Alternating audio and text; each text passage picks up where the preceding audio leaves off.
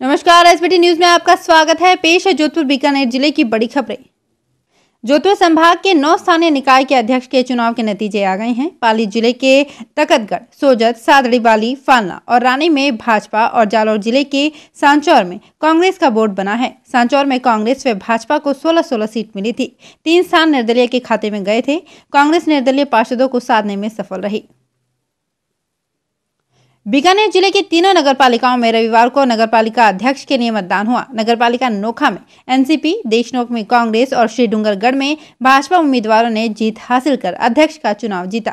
नगर पालिका देशनोक में कांग्रेस ने भाजपा के अध्यक्ष बनाने की हैट्रिक को तोड़ा। देशनोक में कांग्रेस के ओम प्रकाश मुंद्रा अध्यक्ष निर्वाचित हुए। वहीं नोखा नगर पालिका में नारायण झंवर लगातार दूसरी बार पालिका अध्यक्ष चुने गए। श्री डूंगरगढ़ नगर पालिका में भाजपा के मानमल शर्मा अध्यक्ष चुने गए। अखिल भारतीय कांग्रेस कमेटी के सदस्य एवं राजस्थान क्रिकेट एसोसिएशन के अध्यक्ष वैभव गहलोत रविवार को जोधपुर दौरे पर रहे। उन्होंने यहाँ किसान आंदोलन के समर्थन में वार्ड बावन में आयोजित सांकेतिक भूख हड़ताल कार्यक्रम में भाग लिया। इसके बाद उन्होंने उद्यमी सम्मान कार्यक्रम में भी शिरकत की। रात को हज़रत मखदूम ख्वाजा अब्दुल लतीफ शाह चिश्ती के सालाना उर्स पर दरगाह शरीफ में चादर पेश की।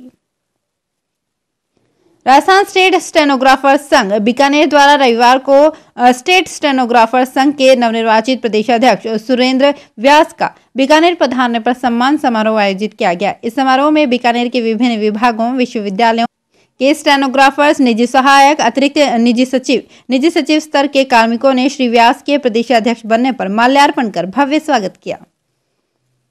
जोधपुर जिला उपभोक्ता विवाद प्रतितोष आयोग द्वितीय ने बैंक के एटीएम से रुपए नहीं निकलने के बावजूद ग्राहक के खाते रुपयों की कटौती कर लेने के मामले में एसबीआई बैंक पर तीस हज़ार रूपए हर्जाना लगाया है। मामले के अनुसार ओम प्रकाश जोशी ने एटीएम से पाँच हज़ार रूपए की राशि निकालनी चाहिए, लेकिन रुपए नहीं निकले और खाते से राशि डेबिट हो गई। साथ ही बैंक ने राशि देने से भी मना कर दिया।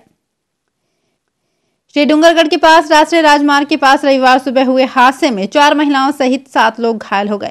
गंभीर घायलों को पीबीएम अस्पताल के ट्रोमा सेंटर में रेफर किया गया है। एक कार में परिवार के छह लोग सवार थे। सुबह करीब सात बजे सीकर से आ रही कार और श्री डूंगरगढ़ से रतनगढ़ की ओर जा रहे टेंपो के बीच भिड़ंत हो गई। कार का अगला हिस्सा टेंपो से जा भिड़ा, जिससे टेंपो के परखच्चे उड़ गए। टेंपो में रखा नया फर्नीचर भी गिर गया। टेंपो चालक जसवंत सर महाजन के खेतपाल की गंभीर चोट आई है, उसे बड़ी मुश्किल से बाहर निकाला जा सका। भाजपा के राष्ट्रीय महामंत्री व प्रदेश प्रभारी अरुण सिंह ने कहा कि कांग्रेस व अन्य विपक्षी पार्टियाँ किसानों के कंधे पर बंदूक रखकर चला रही है। किसान आंदोलन अब राजनीतिक रूप ले चुका है।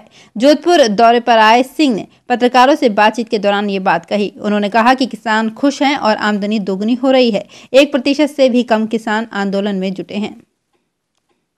सरकारी धन की सुरक्षा का सबसे बड़ा जिम्मा अकाउंटेंट का होता है, लेकिन अकाउंटेंट ही गबन करने लगे तो कोई क्या करे? बीकानेर के नोखा में जोधपुर विद्युत वितरण निगम के अकाउंटेंट नरेश चाहलिया ने ऐसा ही किया और चौवालीस लाख रुपए सरकारी खजाने में जमा कराने के बजाय अपने पास रख लिए। पिछले दिनों इसकी शिकायत हुई और रविवार को नोखा थाने में गबन का मामला दर्ज हो गया। जोधपुर के संभागीय आयुक्त व RAJSICO MD doctor Rajesh Sharma ने रविवार को भगत की कोठी रेलवे साइडिंग से पहली बार सीधी कंटेनर ट्रेन को गुजरात के पिपावा पोर्ट के लिए झंडी दिखाकर रवाना किया। डॉक्टर शर्मा ने बताया कि पिपावा पोर्ट के लिए पहली बार कंटेनर ट्रेन की व्यवस्था की गई है। ये ट्रेन सत्रह घंटे में पोर्ट पर पहुँच जाएगी। भारतीय कृषि अनुसंधान परिषद नई दिल्ली के उप महानिदेशक डॉक्टर एस के चौधरी ने काजरी के शोध क्षेत्रों का भ्रमण किया। उन्होंने संस्थान के वैज्ञानिकों द्वारा किए जा रहे विभिन्न शोध कार्यों का निरीक्षण किया। डॉक्टर चौधरी ने काजरी किसान मित्रों से फलोद्यानिकी बगीचे में चर्चा की। ज्ञान योगी नंद किशोर शारदा आध्यात्मिक केंद्र, शास्त्री नगर स्थित मणिद्वीप में जरूरतमंद 120 से अधिक परिवारों में राशन व खाद्य सामग्री वितरित की गई। इस अवसर पर मुख्य अतिथि समाज सेवी सुरेश राठी ने कहा कि स्वयं के अवगुणों को दूर कर जीवन को सफल बनाएँ। आईसीडी कौरकौर कंटेनर डिपो में एक कंटेनर को लोड करने में आठ घंटे से लेकर 24 घंटे तक का समय लग रहा है।